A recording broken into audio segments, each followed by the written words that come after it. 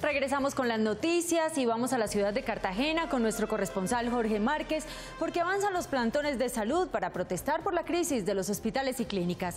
Jorge, muy buenos días y adelante.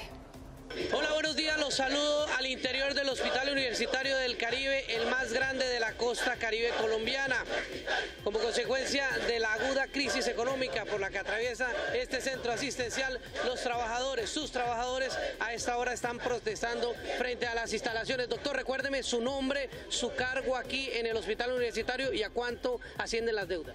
Bueno, mi nombre es Luis Gerardo Villota González, yo soy residente de cuarto año de cirugía de la Universidad de Cartagena y en pues, mi principal sitio de práctica es el Hospital Universitario del Caribe.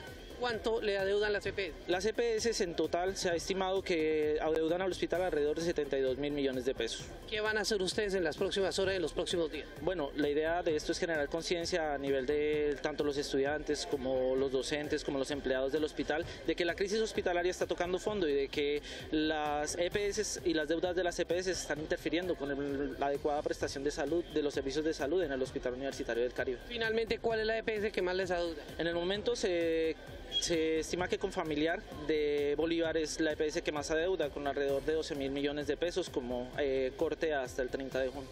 Doctor, muy amable, se estima que los seis hospitales más importantes de la costa caribe colombiana se les adeudan más de 300 mil millones de pesos. Es toda la información desde Cartagena. Regreso con ustedes a Bogotá y muy buenos días. Gracias, Jorge. Manifestaciones a nivel nacional. Y en las próximas horas, el ex jefe paramilitar, alias Don Antonio, podría recobrar la libertad. Así lo determinó la Corte Suprema de Justicia, asegurando que Don Antonio, quien es responsable de varias masacres, ha cumplido a cabalidad con los requisitos de la Ley de Justicia y Paz. Alias Don Antonio, excomandante paramilitar del bloque norte de la SAUCE, saldría de prisión el próximo mes tras cumplir con una pena de ocho años de cárcel en el marco de la Ley de Justicia y Paz.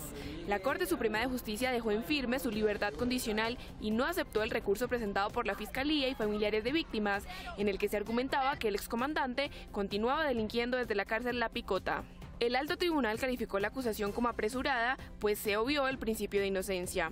Alex Don Antonio también era señalado de falso testimonio, fraude procesal y soborno en la investigación contra la ex rectora de la Universidad Autónoma del Caribe, Silvia Guete.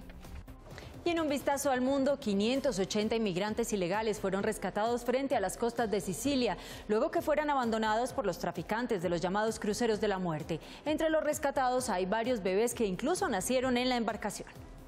Tres barcos italianos rescataron a 580 inmigrantes ilegales que permanecían en cuatro embarcaciones en el mar Mediterráneo. Dentro de los rescatados hay cuatro bebés que nacieron en alta mar, informó la Guardia Costera de Italia. Cerca de 150.000 inmigrantes ilegales llegaron a Europa por la vía marítima entre enero y julio.